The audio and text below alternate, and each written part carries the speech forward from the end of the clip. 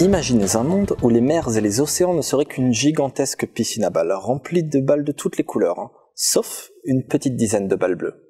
Combien de temps vous faudrait-il pour en trouver une Des mois? Des années?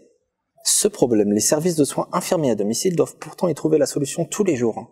Un planning de travail précis doit être établi, afin de réduire les temps de trajet du personnel soignant, et bien sûr que tous les patients reçoivent leurs soins. Le problème, c'est qu'il y a autant de façons de faire que de balles dans cet océan de loisirs. Et que les meilleurs plannings, eux, il y en a autant que les balles bleues.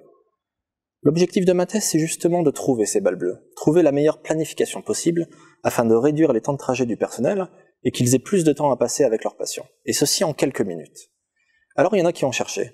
Ils ont regardé la couleur des balles les unes après les autres. Mais je crois qu'ils sont toujours en train de chercher.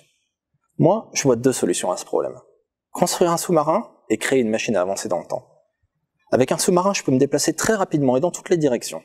Le problème, c'est que je ne vois pas plus loin que le bout de mon vaisseau, et que même avec un sonar, je n'arrive pas à détecter les balles bleues. L'autre piste, et celle sur laquelle je fonde tous mes espoirs, c'est la machine à avancer dans le temps.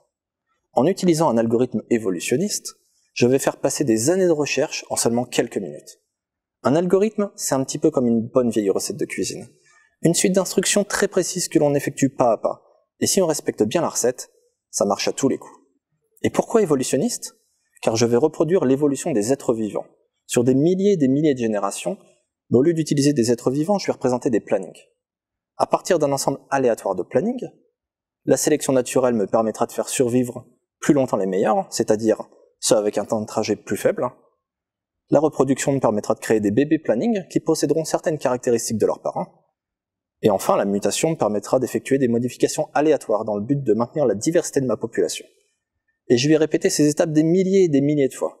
En quelques minutes, je vais me déplacer très rapidement dans cet océan, sautant de balle en balle, pour converger vers une ou même plusieurs balles bleues.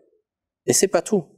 Je souhaite également rendre cet algorithme interactif, afin que le personnel soignant ne soit pas seulement spectateur, mais aussi acteur, en pouvant donner de nouvelles indications à la machine, comme par exemple un patient qui serait finalement pas disponible.